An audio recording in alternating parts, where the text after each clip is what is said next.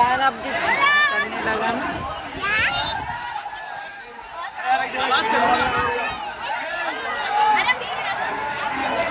खत्म हो गया।